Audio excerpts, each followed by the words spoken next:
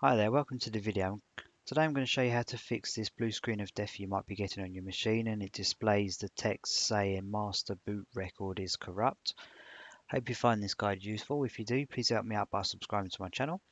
Okay, so when you get this blue screen of death, you will not be able to boot to your desktop. Um, every time you turn on your machine and try to boot to Windows, it will display this uh, blue screen of death. What you need to do is put the Windows 10 install uh, media into your machine, whether that's DVD or USB. If you don't have that, just go to Google, uh, Google Windows 10 ISO, click on this Microsoft link here, and you can download a tool if you just scroll scroll down. If you click on download tool now, uh, run the tool, and that will help you to create a bootable USB or DVD drive. So put that into your machine and then restart your machine and boot to that media.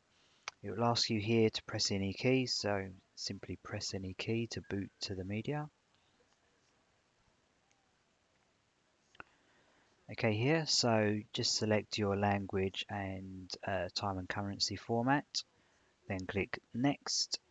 Uh, do not click on install now, we need to click on repair your computer in the bottom left.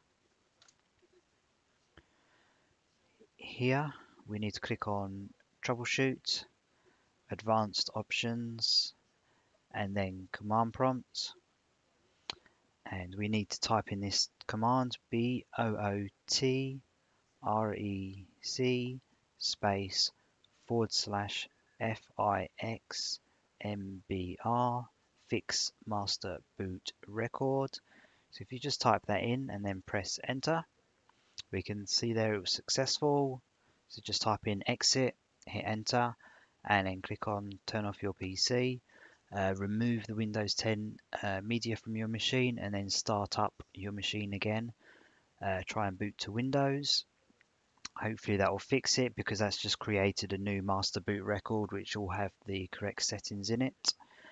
Uh, if that doesn't work, come back into this menu, click on troubleshoot, advanced options, command prompt again.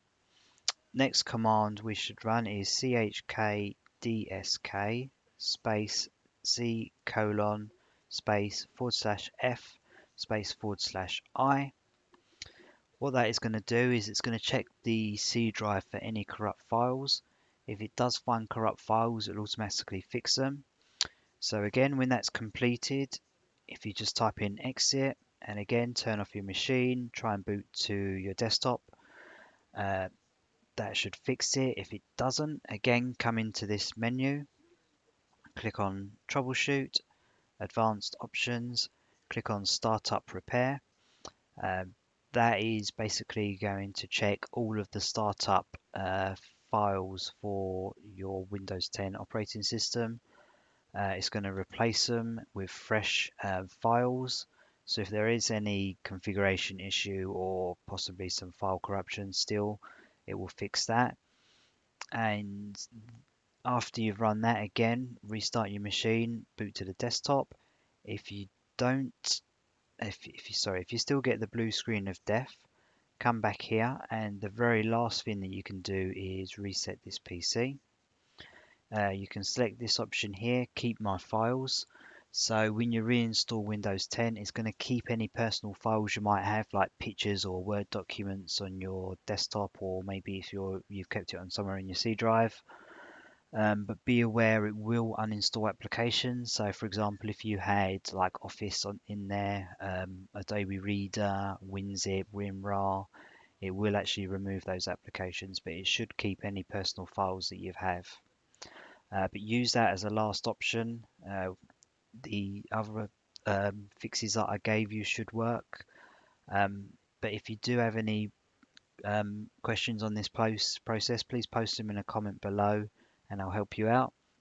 But thanks for watching the video and I'll see you in the next one.